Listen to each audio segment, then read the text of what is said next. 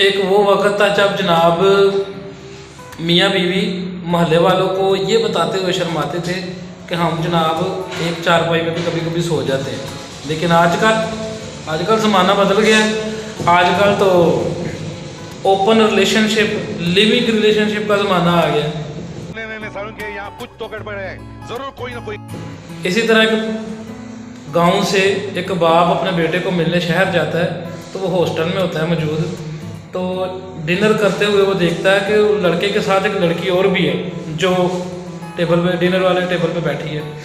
तो बाप उससे पूछता है कि ये कौन है? लड़का कहता है, अबू जी, ये मेरी रूम पार्टनर है। लेकिन आप परेशान ना हो। आपके जहन में ऐसे वैसे कोई सवालात ना आए। हम दोनों का कमरा भी अलग अलग है, हम दोनों का बेड भी अलग अलग है। लिहाजा ये सिर्फ़ खाना हम इकट्ठे खाते हैं। ऐसे तो नहीं होता है।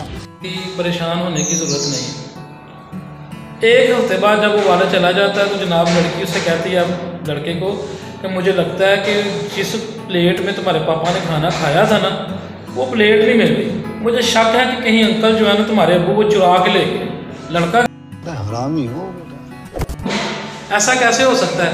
वो कहती है चलो एक दफ़ा पूछ तो लो ना वो अपने अबू को फ़ोन करके कहता है अबू जी वैसे तो मुझे शक नहीं है आप पे लेकिन तसल्ली के लिए पूछ रहा हूँ कि वो जो प्लेट आप ले गए थे खाना जिसमें खाया था वो कहीं आप साथ ही तो नहीं गलती से ले गए समझ रहे हो समझ रहे हो आप समझ रहे हो ना ਉਹਨੇ ਕਿਹਾ ਪੁੱਤਰ ਗੱਲ ਪਤਾ ਕੀ ਹੈ ਉਂਝ ਮੈਂ ਤੁਹਾਡੇ ਤੇ ਸ਼ੱਕ ਨਹੀਂ ਕਰਦਾ ਤੇ ਨਾ ਹੀ ਮੇਰੇ ਦਿਲ 'ਚ ਕੋਈ ਇਹੋ ਜਿਹਾ ਸਵਾਲ ਆਇਆ ਵੇ ਤੇਰਾ ਉਹਦਾ ਕੋਈ ਚੱਕਰ ਵੀ ਕੋਈ ਨਹੀਂ ਤੁਸੀਂ ਦੋਵੇਂ ਲਿੰਗ ਲਿਵਿੰਗ ਰਿਲੇਸ਼ਨਸ਼ਿਪ 'ਚ ਵੀ ਨਹੀਂ ਹੈ ਲ- ਉਹ ਆਪਣੇ ਕਮਰੇ 'ਚ ਸੌਂਦੀ ਹੈ ਤੂੰ ਆਪਣੇ ਕਮਰੇ 'ਚ ਸੌਂਦਾ ਹੈ।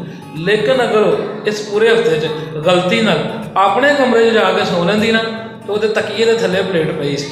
ਇਹ ਤੂੰ ਸਾਬਤ ਹੁੰਦਾ ਕਿ ਤੁਸੀਂ ਦੋਵੇਂ ਜਨਾਬ ਇਕੱਠੇ ਹੀ ਸੌਂਦੇ ਹੋ ਤੇ ਲਿਆਦਾ ਤੇਰਾ ਮੈਂ ਇਲਾਜ ਕਰ ਲਾਂਗਾ।